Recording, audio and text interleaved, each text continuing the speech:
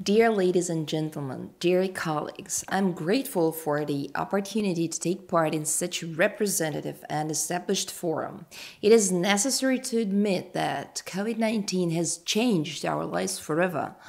Outlines of the post coronavirus world are manifesting themselves right now. Here are just some of them. Pandemic has definitely rejected statements of the advocates of globalization about the end of history of recent decades, as well as the need to replace the seemingly outdated states institutions with supranational structures.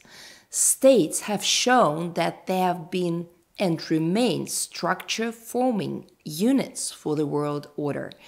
It is the countries with consolidated societies that rely on their own capabilities, which have been best in dealing with pandemic. Does it mean that the architecture of international institutions would be dissolved? Surely not. These institutions should become more efficient if states forego using them as arenas of ideological confrontation and rather use them for substantive equal and mutually respectful cooperation.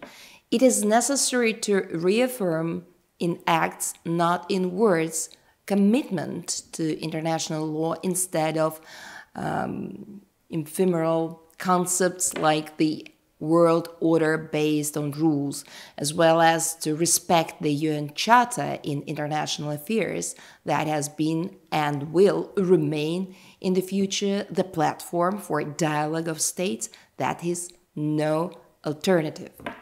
The post coronavirus world, as we see it, is multipolar and plural, pluralistic which does not prevent it from reaching agreement in order to resolve common problems.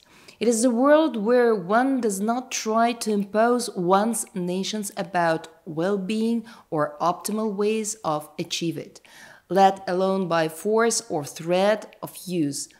It is a world where uh, evolutionary progress of humanity based on consensus is preferred over destructive interventions and uh, interference in the international affairs of other states.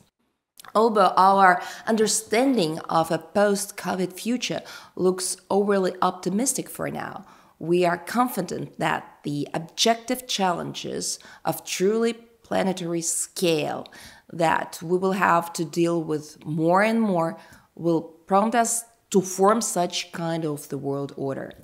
We hope that we will learn, learn lessons of COVID 19 well and will be ready for such challenges. Thank you.